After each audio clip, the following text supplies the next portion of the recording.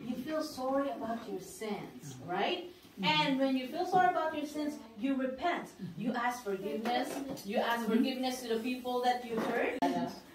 Repent. What does repent means? Anybody? It's always there to guide us. Always there. When we are we are sick, and when we're hurt, say you put you in his in on on his lap and help to soothe you, right? So that's a loving father.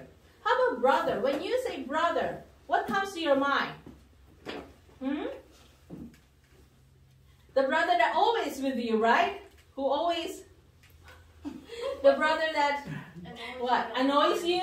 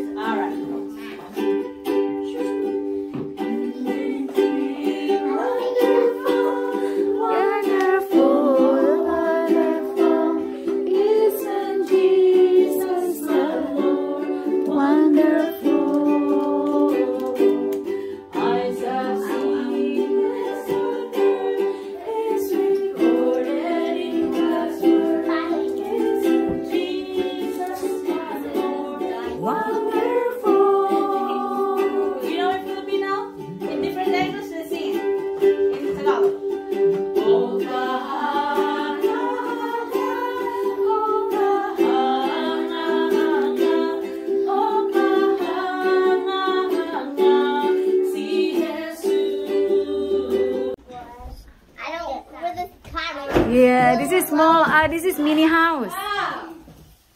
Hi, Ade. There, come on. Okay. Oh,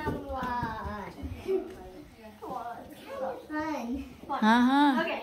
So? I'm not saying if I don't get the copy. Woo! Careful. Hey, come here. We always do this. Angie, can I see you with your teddy bear?